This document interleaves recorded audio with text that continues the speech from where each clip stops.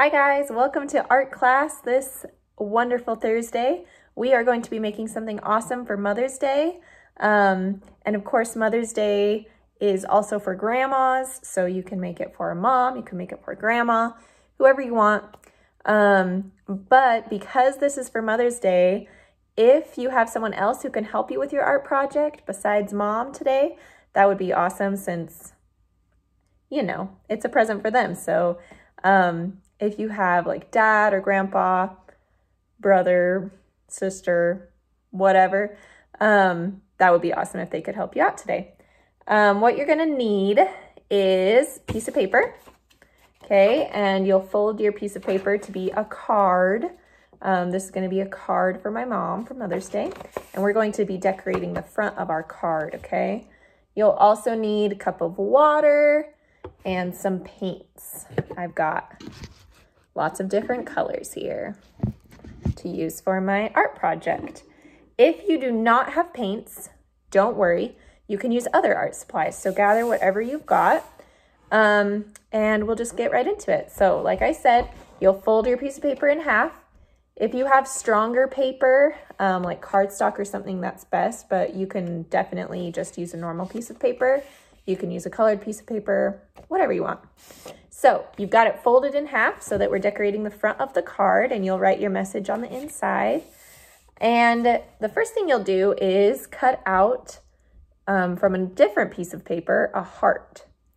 And um, what we're going to be doing is taping this on the card and we're going to be decorating out on the rest of the card. And then at the end, we will untape the heart and there will be a blank space where we did not color or paint and it will be a heart um, and there will be a pattern everywhere else. So um, you cut out your heart that will go in the middle of your card and so you'll also need tape. Um, so I've got my pieces of tape here and let me see if I can get this better, a better view. There we go. Okay, so I've got my, um, my heart and I'm going to tape it down. I'm gonna be kind of gentle when I'm taping it down because like I said, we're going to be taking the heart back off at the end. So you don't want it, you definitely do not wanna glue it down, um, but you wanna be really gentle with the tape so that it doesn't get stuck on there too hard, right? Okay. So I have taped my heart and I'm going to stick it here in the middle of my card. And my heart actually, it um, is the back side of like something else that I'd printed out and don't need anymore. So that's why it has stuff on it. But you're gonna just tape it down in the middle and we'll take it off at the end. Now, what I'm going to do and what maybe you would like to do, and of course this is art, so it's all up to you what you do really. Um, but I'm just giving ideas. So what I'm gonna do with my paints is I'm going to paint my thumb and I'm going to do a bunch of thumbprints everywhere, different colors. So it's gonna be a pattern of my thumbprint in different colors. Um, so I'll show you, I'm getting some paint here, painting my thumb, painting it blue. And voila, there is my first thumbprint. Now I'm gonna do a bunch of thumbprints everywhere, right? And it's actually best if you don't put paint on your finger every single time that you do a thumbprint because as the paint um, kind of dries from your thumb, it will make a cooler thumbprint. Okay. And I'm just gonna keep going with blue before I switch colors. Okay, so I am done with blue now and I made that many thumbprints. And now I, since I did a lot of blue, I'm going to wash off my paintbrush in my cup of water. Ooh, almost spilled it. Okay, I have a dry thumb. I'm gonna wipe off my paintbrush to make sure that all the blue is gone and I'm switching to a new color. So I think I'll do green next. Goodbye blue, hello green.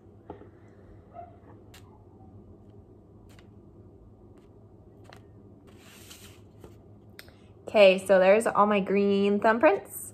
Now I'm gonna switch colors again and I'm just gonna keep on switching colors. So next is pink and then I'm gonna do kind of red, purple, and yellow. Now, what I'm gonna do as I start getting a lot of thumbprints is I'm going to actually, um, you can kind of see my heart still right here. I'm actually painting, like putting my thumbprints even over the heart because um, I want to cover every single white spot on this page because then when I take the heart off, it will be a fully blank, nice heart. If you don't cover the whole space, then it won't really look like a heart so much. So you want to cover everything in thumbprints, okay? Also, if you are not using paints, then you're just creating a design all over your paper. Just make sure you cover all the white. But with whatever supplies you're using, whatever art supplies, you're just covering the whole thing with a nice design, a nice picture, any way that you want. All right, guys, I have filled up every space on this card. I'll show you kind of wet. Okay, I filled up every spot with my thumbprints and you can see it doesn't really look like there's a heart right there right now, but when I take it off, we will find out. Um, it's best if you wait for your paints to dry. Um, wait for it to dry so that you don't kind of ruin it as you take off the heart. Okay, I'm going to be very gentle so that I don't rip the page. You might want a little help with this part from someone who is nearby and can help you. Ooh, it looks cool, guys. I'm excited to show you. Okay, take off my the rest of my tape.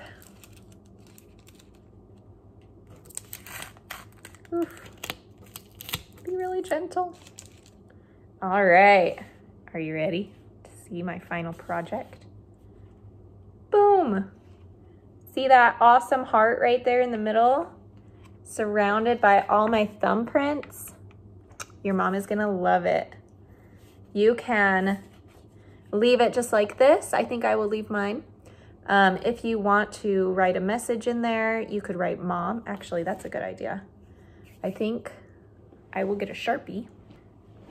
Well, apparently I don't have a Sharpie, but I do have a white erase marker. So I'm gonna write in the middle of my heart, M O M.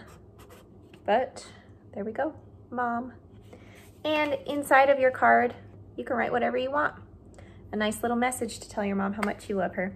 So, happy Mother's Day um, to your mothers. And I hope you enjoy doing this art project. Make sure that you send your teacher a picture of the completed project. We love to see what you guys are doing at home. Okay, bye.